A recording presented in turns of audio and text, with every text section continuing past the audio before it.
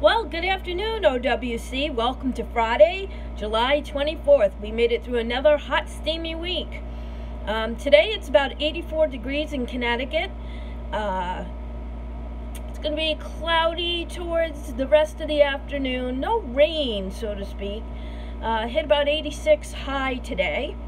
Uh, looks like we're in for a good, steamy, but hot weekend. 92 on Saturday, partly cloudy and a high of 96 on Sunday. So remember your hydration, everybody, sunscreen, and try to keep heavy activities outdoors like mowing the lawn um, or going for a walk or exercising out of the midday heat, okay? So let's start today with this day in history. What national day is it? I'm having some real slow internet connectivity today. So we'll wait a minute while this loads up. Ah, we've got a great couple of days. Today is National Amelia Earhart Day. Let me see if I can get the computer to pull that up. As you know, Amelia Earhart was a aviator. Um, and on each day, July 24th, National Amelia Earhart Day honors the achievement of the aviation pioneer on the date of her birth. Author and American aviation pioneer Amelia Mary Earhart was born on July 4th, 1897. One of Earhart's most important achievements took place on May 20th, 1932. In 1927, Charles Lindbergh completed the first solo flight across the Atlantic. He flew from New York to Paris in 33 hours and 30 minutes. Earhart took off from Grace Harbor, Newfoundland, four years to the day Lindbergh completed his flight. Throughout the flight, she faced many technical difficulties. Her goal was to land in Paris, France, the previous year, Ruth Nichols also attempted to fly solo across the Atlantic. Had she succeeded, she would have been the first woman to do so. However, Nichols crashed while attempting to land for refueling in New Brunswick, Nova Scotia, which is a province of Canada. Due to Earhart's challenges in flight, she landed the red Lockheed Vega 14 hours and 16 minutes later in Derry, Ireland, all in all, the flight was successful. She became the first woman pilot to complete the journey. Following Earhart's record setting accomplishment, she earned the United States Distinguished Flying Cross. Um, she broke a lot of records, wrote a lot of best selling books about her flying experiences, and instrumental in the formation of the 99s, an organization for female pilots. She joined the Purdue University Aviation Department as a faculty member in 1935 to counsel women on careers and help inspire others for her love of aviation. She was the member of the National Women's Party and supporter of the Equal Rights Amendment. In 1937, Earhart attempted to circumnavigate the globe. Unfortunately, her Purdue funded Lockheed Model 10 Electra disappeared over the Pacific Ocean near Howland Island in July. Today, her successes continue to draw women around the globe to the world of aviation. Fascinated with her life career and disappearance continues to this day. Whether or not the mystery will ever be solved remains to be seen. So that's pretty cool. That is certainly one of a kind. About a year ago at the public library, I saw a woman who does reproductions of famous people in history and their stories. She acts it out as a, like one act play. And she came to the Tolland Library and she did Amelia Earhart from when she was a young girl all the way up to her last flight. Um, and she was really, a, the, the actress was wonderful and she did a great job of portraying Amelia Earhart, who was just a very spirited, intelligent um, woman ahead of her times. Um, not everybody had the opportunity to fly planes, especially women back in her age and day. So next we have National Cousins Day. Recognizes the lifelong relationships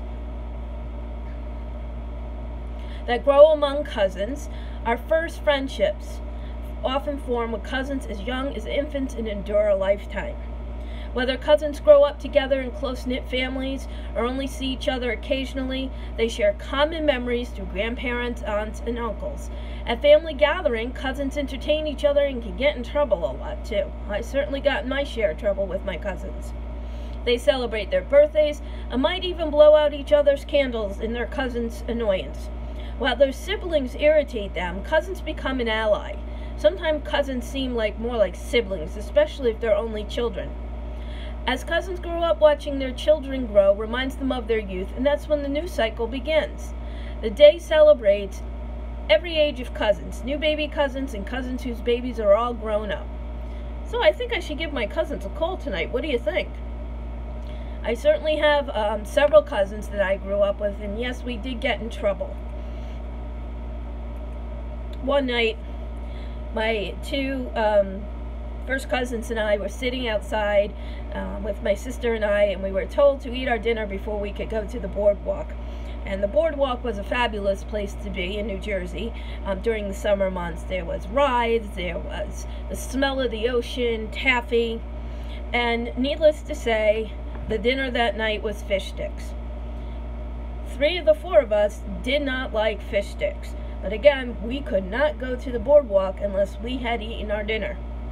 So the fourth cousin of us, who happened to like fish sticks, took one for the team and ate about probably 12 fish sticks um, so that we could all go to the boardwalk. I don't remember her getting sick that night, which is probably a marvel into itself. Because somebody who eats a great quantity of fish sticks and then gets on a roller coaster doesn't make good for a good match. Today, for those of you who are drinkers of tequila, it is National Tequila Day. With a little lime and salt, mix up a margarita, paloma, or mamacita to celebrate the day. People have been making tequila for centuries, and it was once known um, as a mezcal wine. Um, tequila is distilled from a type of agave plant. Um, it started around the 16th seven, uh, century Cortez arrived on the North American continent with the Spanish conquistadors. They didn't care much for the fer fermented mezcal wine served to them. However, the Spanish introduced copper stills to the population, entered this distilling process. Now our story takes us to Tequila, Jalisco, Mexico, located in the West Valley of Guadalajara in Jalisco, Me Mexico. The town made a name for themselves by distilling blue agave. Even though a variety of succulents grew in the Mexi Mexican produce, only one delivers the nectar to distilled te tequila.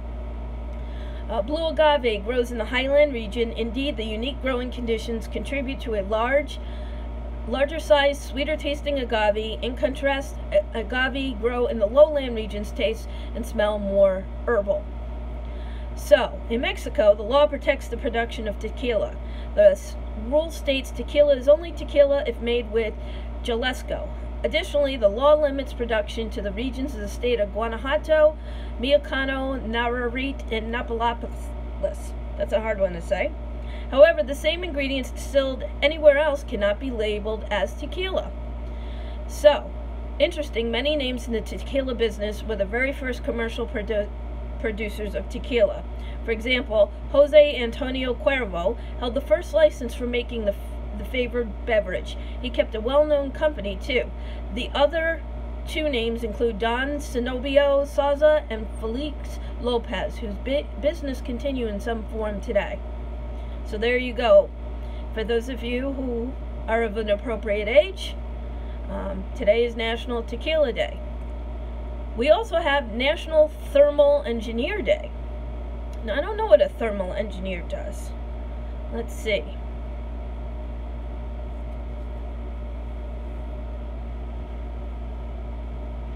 Waiting for it to load up. Come on, page. We want to know what National Thermal Engineering Day is all about. Thermally speaking, July 24th is an excellent day to acknowledge National Thermal Engineering Day. Celebrate the contributions of thermal engineers of one of the hottest days of the year. Electronic thermal management is pivotal for its longevity and reliable operations. Yet thermal engineers who make this possible receive little to no recognition. The market sector doesn't matter either. They may work in consumer electronics, large data centers, or cutting edge biomedical or aerospace electronics. Either way, they contribute to the cornerstone of our national technological advancement. Without thermal engineers, modern life doesn't function. As specially trained professionals, thermal engineers develop solutions to complex systems. While they focus maybe on the mechanical, thermal engineers and coordinate with other specialties too, by combining communication and organizational skills, these specialists ensure operations continue to run smoothly. On a project, these skills bring a project to an economical and timely resolution. Their efforts create more efficient and innovative infrastructure. The results of their efforts are all around us every day. Some work with heat management, um, but they certainly don't sweat the small stuff. So it's only fit to recognize them on one of the hottest days of the year. Wow. So this was um, recognized as a national day in July 2004 by a professional organization called the Advanced Thermal Solutions Incorporated, ATS. They wanted to recognize the innovation and commitment to the motivation and dedicated electronics and engineering industry. They firmly believe that the importance of advancing the thermal engineering industry and is committed to providing the electronics with highly quality, cost effective thermal management and electronics packing solutions. So there you go, that's a mouthful. Moving right along, this day in history. I'm going to turn this camera, I think, around. Let's see if I can do that. No. Well, and anyway, the picture went out on my computer anyway. The Summer of Savings event Oh. is finally here at your local Ford store. Enjoy the sun with the hottest deals on America's best-selling brand. Okay, this is from the History Channel. From the unbeatable We, we have a um, advertisement I'm trying to shut off. series. It's time for the hottest deals. Okay. Ooh, and let go away. It's a stubborn little lad. for Summer of Savings. Make it last. Bring it home. Okay. Machu Picchu ruins were discovered today by an American archaeologist. On July 24th, 1911, American archaeologist Hiram Bingham gets his first look at the ruins of Machu Picchu, an ancient Inca settlement in Peru that is now one of the top world's top tourist destinations. Tucked away in the rocky countryside north of Cuzco, Machu Picchu is believed to have been a summer retreat for Inca leaders whose civilization was virtually wiped out by the Spanish invaders in the 16th century. For hundreds of years afterwards, its existence was a secret known only to peasants living in the region. That all changed in the summer of 1911 when Bingham arrived in a small team of explorers to search for the famous lost cities of the Incas.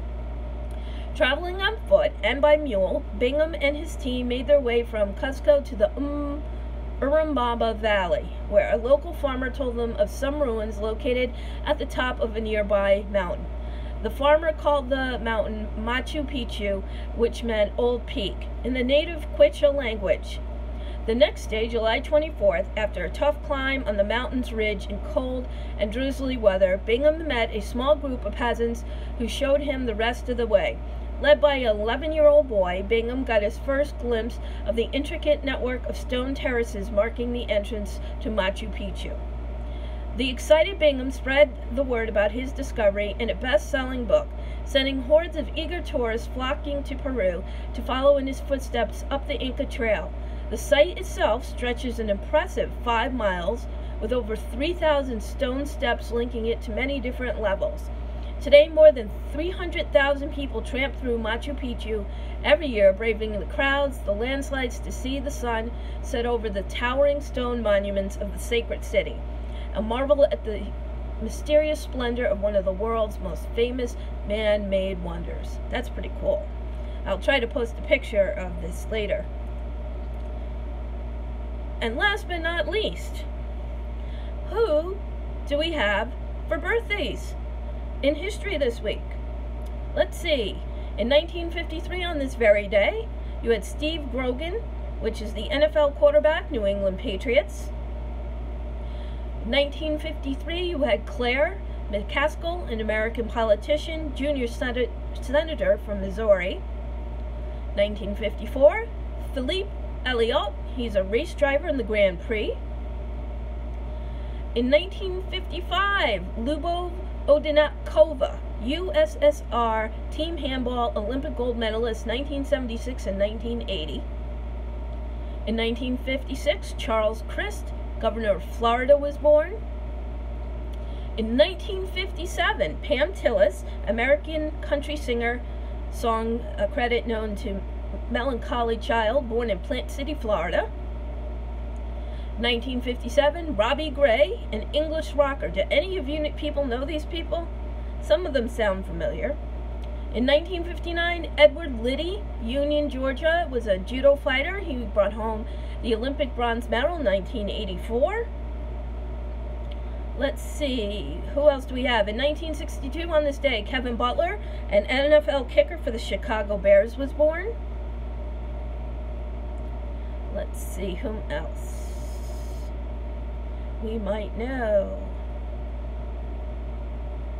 In 1965, Kadeem Hardison, New York American actor, A Different World, The Sixth Man, was born.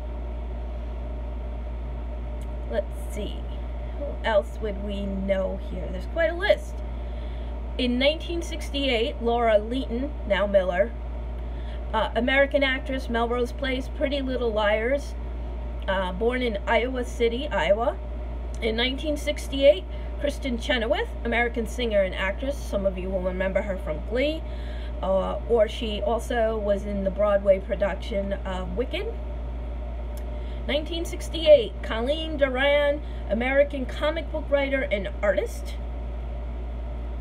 Let's see. 1969, Rick Fox, NBA guard, forward for the LA Lakers and Boston Celtics.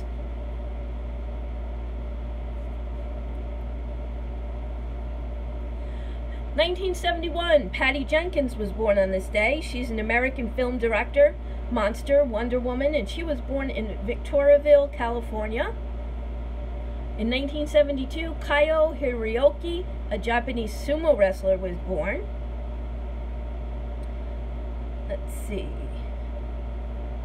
A lot of Olympic gold medalists and bronze and silver. In 1976, Anita Nall, an American breaststroke swimmer, um, was born and she brought home a gold medal in 1992. Let's see who else we have here. That we would know. 1981, Summer Glau, an American actress, was born on this day.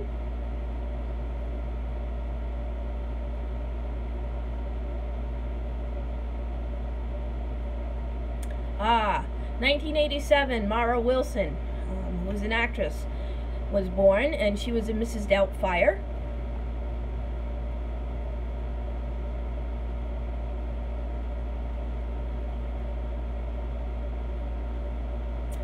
Nineteen ninety eight, Bindi Irwin, Australian TV personality, conservationist, and daughter of Steve Irwin, was born in Australia. So there you go. So quite a few people that we might know out in uh, pop history, uh, culture history, or sports were born on this very hot day in July at various different years. So that's about all I have for you now.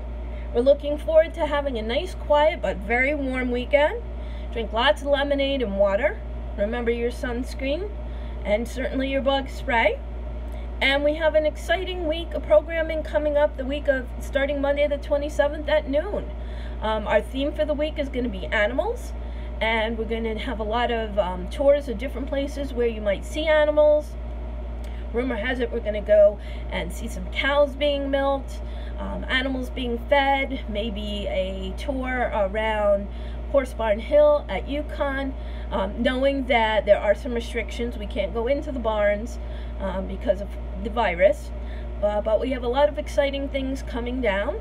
And I will follow through with some interesting facts about Machu Picchu for you to read up and uh, learn about. And if anybody has anybody who's a thermal engineer and would like to share information about their profession, or anybody who's ever vacationing at Machu Picchu has pictures that they'd like to share, feel free to post them. Have a good weekend, everybody. See you on Monday.